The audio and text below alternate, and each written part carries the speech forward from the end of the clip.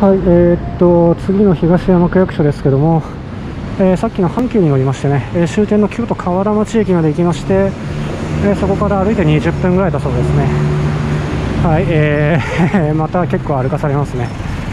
えーとまあ、本当はね、あの最寄りは、えーと、京阪の、え清水五条ですかね、えそこらしいんですけども、えなんか乗り継ぎがね、まあ、すんごく面倒くさいとかで、えまあ、京阪、京阪じゃなくて阪急を使った方が、え圧倒的に速いらしいです。はい、なんか10分遅れのを使ってもまだ阪急が速いらしいので、まあね、あのこのぐらいならしょうがないですね。で、えーと、さっきのね、上桂駅じゃなくて、えー、乗り換え駅のね、桂駅まで歩いた方が早いという話なので、そちらに向かいます。これ斜めに行けということですね。なんか、大通りを通るとすごい時間がかかるというか、遠回りなので、また細い道を通らせるようです。はい。これまた20分歩いて20分まではいかないか、10分ちょいぐらい乗って20分歩いてみたいな感じですかね。うーん、まあ、徒歩移動がかさむ感じになりますが、まあ、仕方がない。ちなみに今、歩数は、うわ、もう1万7000歩いてますね。そんなにどっかで歩いたかな。まあ、うちからね、その昨日の夜10時半ぐらいからの、まあ、通算なんですけども、うん、思ったより歩いてますね。はいまあ、結局ね、その狭い道をまっすぐ行くのがまあ最短なんですけど、ちょっと横断歩道がないのでね、結局さっきの太い道に戻らされるという 逆に遠回りさせられる結果になりましたが。で、えー、とこの太い道がね、国道9号線らしいですね。えー、とこの前のね、県庁巡りの時は、えー、と山陰のね、鳥取で橋を渡ったり、えー、宍道湖の辺りを歩いたり、え下関でね、終点を見たりしましたけども、えー、まあこの起点はね、ここ京都市ということで、え、ここ6.6キロとありますね、そこにね。えだからまあ始まったばかりという感じです。はい。まあ、なんか日陰だと結構風が涼しいな。これは30度大きく超えてるってことはないですね。ああ、ほんと日が陰ってくれりゃいいのにな。はい、なんかめちゃくちゃ道分かりづらいっすね、この辺はね。あ、ちょっとなんかレンズ汚れてるかな。ここ斜め左だそうですね。この道を行けと。はい、なんかその辺のね、道をくねくねと曲がったりして、今やっとちょっと太い道にね、行き当たりますね。はい。で、あとはこれをずっとまっすぐ行って、まっすぐ行けるのか？えー、まっすぐ行って線路に突き当たったら右で桂駅だそうですね。あ、これは大丈夫そうですね。ああ、よかったよかった。えっ、ー、と、今は11時6分で、えっ、ー、と、9分ぐらい歩いてますね、さっきの区役所から。はい、え、ー、と、区役所から13分ぐらい歩いてきましたね。え正面に車両が見えてますね。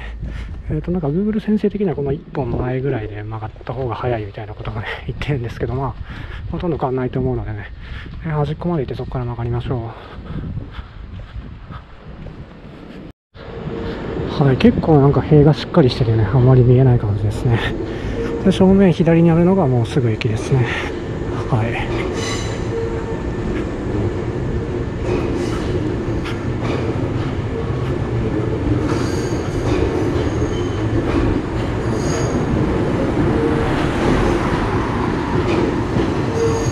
ここはちょっとね撮影禁止とは書いてない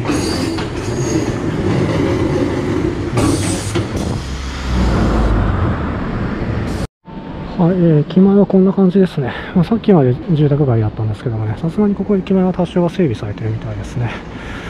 はい、えー、阪急桂駅。はい、ちょっと油断したら特急行ってしまいましたね。まあ、しょうがない。あでも結構、結構混んでますね。こんな乗る人いるんだな。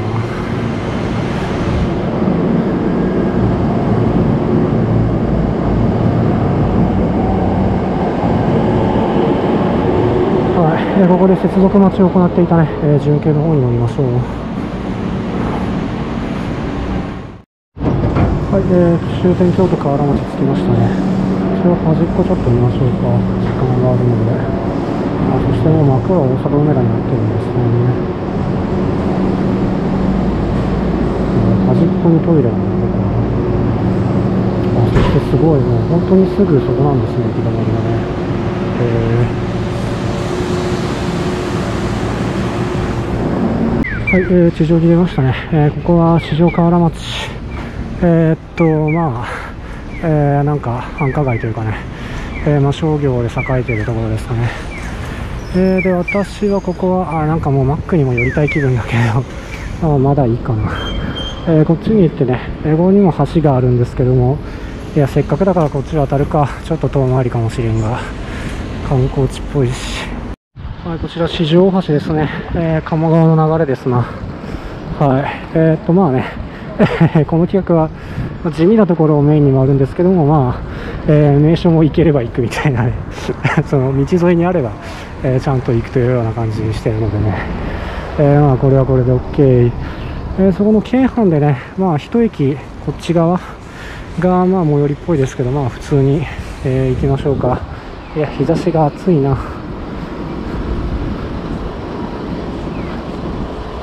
はい、まあなんか方角的にはこっちですね。はい、えー、っと、さっきからね、えー、まあ一本南に来て、まあ本当はね、ここの橋を渡るように Google 先生は言ってたんですけども、まあここからね、えー、まあこのどんぐり通りというやつを進んでいきましょう。えー、っと、この地図に乗って、わからん、あ、ここですね。ここに行きたいんですね。まあだから、こんな、こんな感じですかね。はい。はい、こちら臨済宗の建仁寺ですか。なんか、えー、っと、立派なお寺みたいですね。ここはでもお金がかかるのかなじゃあいいや、めんどくさいから。はい、えー、今ね、そっちの道から、えー、ここ左に入ったところです。こは八坂通りですかね。えー、なんか、えー、っと、えー、まあ、東山区ということでね、えー、なんかそんな感じの雰囲気 しなくもないよ。全然わかんない。ほんと適当なこと言ってますけどもね。はい。えーと、なんかその辺、えーと、今タクシーが曲がってった道よりもう少し先ですかね。はい、なんか地味に登ってますね。まあ、東山、や坂となれば登るのも当然という感じですけどもね。えー、そしてまあ、一応このね、えー、右側のの建物の日陰をちょっと歩けるので、まあ、それは嬉しい感じですかね。はい。正面にはちょっとなんか五重の塔的なのが見えてるけど、全然わからない。はい、なんかいい感じの道が正面に続いてますね。ただここはなんか普通の道ですね。はい。えー、っとあと 300m ぐらいですかね。はい着きましたね。東山区総合庁舎、えー、ちゃんと区役所が書いております。えー、ここここかかりましたね。駅から24分ぐらいかかりましたね。えー、っとなんだっけ。Google はね、え20分と言っていたんですけどちょっと私が歩くのが遅かったですかね。はい、えー、じゃあちょっと玄関が遠い。まあいいけど。はいこれで来ましたね。えー、では、えー、続いては8番目ですか。違う9番目かな。えー、っと伏見区役所の場所をね、え調べましょう。はい、えー、次はね、え伏見区役所の最寄りは京阪の丹波橋駅だそうですね、えで京阪のねえー、っと清水五条駅ですかね、それがまあこっちの方向にあるので、そこまで歩きまして、で京阪1本で、えー、丹波橋ということでね、えーまあ、さっきは阪急1本で来て、そうですね。だからずっと地下鉄地下鉄だったんですけど阪急？阪急で次京阪だけで行けるという。なんかねあの私これ何も考えずに50、40年回ってるだけなんですけども、えー、なんか効率よくね組んだような、えー、なかなか面白い 面白いというか。まあねあの私にとっては都合のいい、え、ルートという感じになってますね。はい。ちなみにここら辺は東じゃない。左に行くと清水なんですかね。私も修学旅行ね、清水寺は来たはずなんですけども、うん、まあよくわからんな。はい。まあこの辺がね、なんか東山区っていうのは、あの非常になんか合ってるイメージがありますね。個人的にも、なんかこれまではね、あまりこう、ピンとこない感じでしたけども。もうこれ正面は国道1号ですね。これ国道1号そのまま右方向に行ければ近いんですけども、歩道がちゃんとありますかね。はい、えー、これ上の道がね、えー、大津方面から来た国道1号線ですかね。はい。で、なんか、えー、まあ、ここは高架でね、まあ、向こうに立体交差してる感じですけども、まあ、この先は普通に地上に行くみたいですね。国道1号はどの辺通ってるんでしたかね。あ、でも京阪か。うーんと確かあのね山崎とかあっちじゃないんですよね確かねああ1号のおにぎりが歩道橋に張り付いてるじゃん。素晴らしい。うんそしてだいぶ疲れてきたな。なんかこう体も若干疲れてきてるんですけどそれ以上にね足へのダメージがなんか大きいんですよね。これは意外だな。まだあの今ようやくねあの12時になったぐらいでね。そうまだ12時ですよ。えー、もうなんかねだいぶ経ってるような気がするんですけどもね。はいまだここから、まあ、場合によっては11時間ぐらい行動しなきゃいけないという。いやさすがにちょっとやばい絶対折れんじゃねえなっていう気もしなくもないですかね。はい。ああいいな。こういう広い道も私大好きですからね、まあ、ちょっと、えー、こういう時は日陰のなさがねマイナスにはなりますけども。そうこのね日がね陰ってほしいんですよね。もう本当に。あ、えー、京阪の駅まで4分ですね。いやここは道が広いですね。こんなに広いのかってぐらい。もうちょいマシな感想を述べろよという話なんですけどね。いやいやいや。うーん。いや感想が出てこないのにとっても意味ないですな。はいまあ、こういう景色が私は好きなんですよね。はい。はい、着きましたね。この正面の道路が、えー、五条橋ってやつですかね。私が行く、はい、えー、京阪はここですね。えー、っと、そこが赤になってしまったからいいや。もうさっさと行っちゃいましょう。はい、なんかね、えー、行ったばっかで8分待ちぐらいだったので、ちょっとえー、また出てきました。はい、えー、っと、まあ、鴨川でいいんだっけかえー、まあ、多分そんな感じでしょう。はい。おう、いいね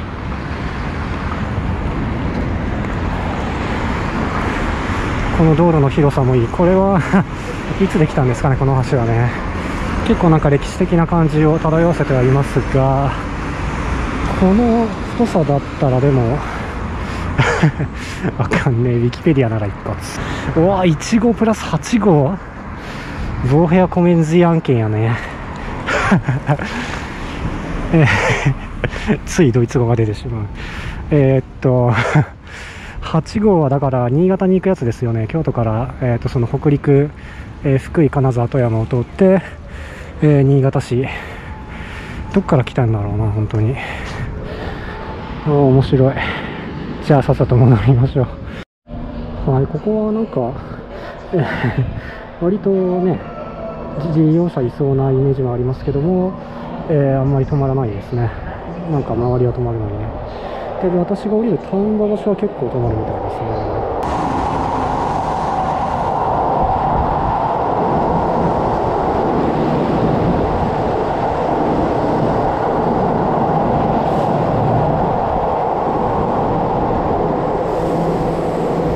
系トップなんだな。エネルゲンが売ってる。なんか とっくに絶滅したようなイメージですけどねなんかすごいスポーツドリンク系が多いですね。激戦区の自販機という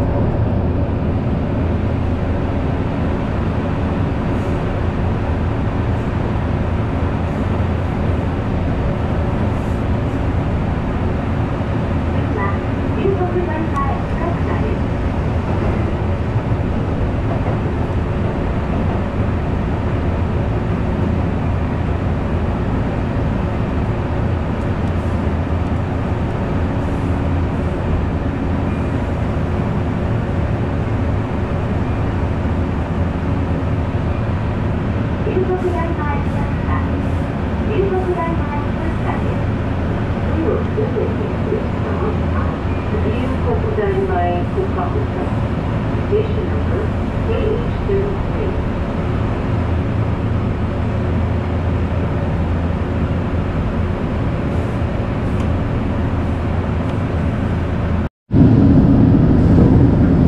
い、えー、丹波バス着きましたね。ここでなんか特急に抜かれるのかなそうですね。えーと、なんか結構南の方まで来た感じですかね。伏見稲荷の辺りだと思ったらもっとずっと南という感じで。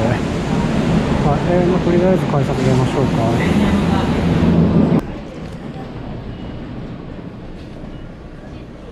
か。はい、えー、こちらがね、えー、京阪丹波橋駅ですね。えー、で、とりあえずこれまっすぐ行ってなんか突き当たりを左ですぐ右とかそんな感じですかね。行ってみましょう。ああと、さっき今、廊下でちょっと撮ろうとして、あの、ギリギリ映ったかどうかわかんないんですけど、奈良線ってまだ103に来てるんですね。なんかもうね、あの、とっくに全部201とかに置き換えられたと、えー、ばかり思っていたんですけどもね。えー、たださすがにまあ今日は JR はあんま乗らないかな。うん、まあね、別に乗れなくてもいいんで、せめてこう動画では映したかったんですけどもね。あと、京阪といえば、えなんか5000系とかいうのが確かまだ生きてるんでしたかね。あの5ドアのやつがね。それもなんかもう、えー、今にも消えそうな感じなんですけどもね。はい、こちらですね。新規総合庁舎左。で、まあその辺、次の信号右ですかね。まあ、多分その辺にあるでしょう。で、えー、とここもだから結局45分ぐらいなんで、そんな時間かかんないですね。はい。えー、これなんか あのまあ、そこまで楽というわけではないですけどもね、あの区役所巡りの、こう する人いねえよ。まあ、あの区役所を巡る人にとってはね、あの親切な街だと思います、京都は。はい。あの、入門におすすめですかね。あの、きついのはどこだ？新潟とかめちゃくちゃきついですからね。そう、あそこはだって朝、朝7時ぐらいから始めたんですよね、あの時も。で、8箇所巡るのに結局午後6時過ぎても巡りきれず、なんか打ち切りになりましたからね、ま、今度最後の8箇所目だけ行く予定ですけども、でそれに対してもうこれ、同じく朝7時に私始めたんですけども、えー、もうこれ、12時半、12時40分ぐらいでこれもう9箇所目ですからね、もう全然違いますよね。はい、ちょっとここでいいのかどうかわからないので ここにも看板置いてほしいが、看板がないということは直進ですかね。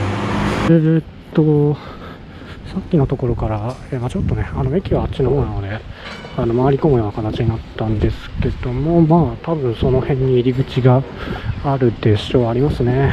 はい、ということで、えー、ようこそ伏見へ、え、伏見区ご乗車、これ丹波橋って言われたけど、次の伏見桃山の方が近かったかもしれない。まあいいや。あ、でもそうか、どうせ、そうですね、あそこで、だから電車は待って、次の駅は特急止まらないので、そうですね、だから時間的にはまこっちの方が良かったんでしょう。えーと、ここが区役所とは明確に書いてないですけども、まあ合ってるでしょう。はい、えー、ではね、え次は南区役所の場所を調べましょう。